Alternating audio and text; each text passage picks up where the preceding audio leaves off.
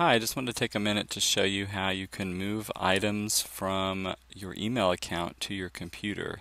Um, this is important especially if you're getting the message saying that your mailbox is getting full and you need to start moving some of those messages off of the server to your computer to free up some space.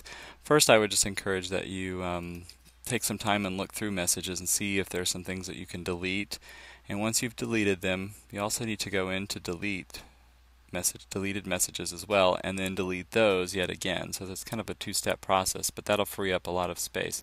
But let's say there are these four messages here that I really need to keep but I, they're taking up a lot of space. I can come down to to this area where it says on my computer. I'm going to just create a new folder and call it iStep and then let's say I want to move these iStep messages. I'll click on them drag them down to iStep. It will transfer those down. Now they're on my computer.